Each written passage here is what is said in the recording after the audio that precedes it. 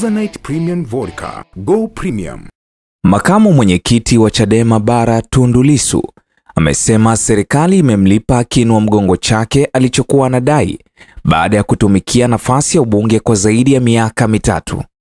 Lissu alivuliwa ubunge Juni 28 ya mwaka 2019 kutokana na sababu mbalimbali ikiwemo kutojaza taarifa za mali na madeni na kutokutoa taarifa kwa spika mahali alipo.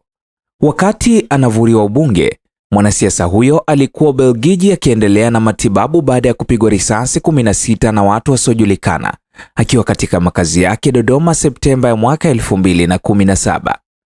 Kwa muda mrefu juhudi mbalimbali za kufuatilia kinua mgongo chake na malipo ya matibabu hazikufanikiwa.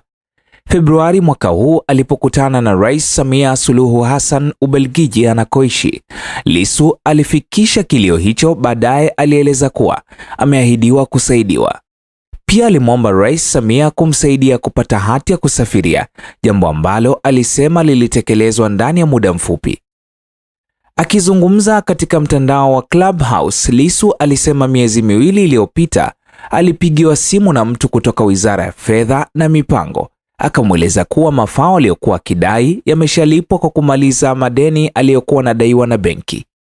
Nilikuwa na madeni ambayo nilikopa katika benki mbili na nilishtakiwa na mojawapo ya benki hizo kwa kushindwa kulipa mkopo uliokuwa unalipwa kupitia mshahara wa bunge.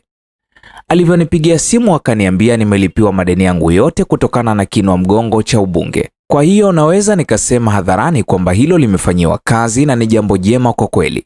Sina madeni ya benki na usumbufu niliyokuwa nikiupata, alisema. Mlipaji mkuu wa serikali Emmanuel Tutuba alipoulizwa alisema ni utendaji wa kawaida serikalini kulipa madeni ya wafanyakazi na viongozi, hata mafao ya wastaafu. Tunapolipa huwa tunapeleka kwa afisa masuuli wa taasisi husika.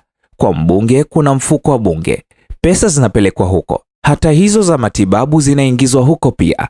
Ukiwasiliana na bunge watakuwa na taarifa zaidi, kwa sababu wao ndio wanaojua wanaostahili, alisema katibu mkuu huyo wa wizara ya fedha na mipango. Uongozi wa bunge haukupatikana jana kuzungumzia swala hilo. Kuhusu fedha matibabu, Lisu alisema nililetewa ujumbe niandike barua kuomba nilipwe stahiki zangu za matibabu na nimeshaiandaa kukamilika kwa kiasi kikubwa, ingawa bado natafuta nyaraka kwa sababu nimetibiwa Kenya na Ubelgiji. Haya ndo maelezo kwa ufupi juu ya makamu mwenyekiti wa Chadema Bara Tundu Lissu kusema kuwa serikali imemlipa kinu wa mgongo chake alichokuwa anadai baada ya kutumikia nafasi ya ubunge kwa zaidi ya miaka mitatu. Kwa taarifa nyingine nyingi zaidi na matukio mbalimbali, endelea kubaki nasi na kutufuatilia ili upate kuhabarika kila wakati. Asante.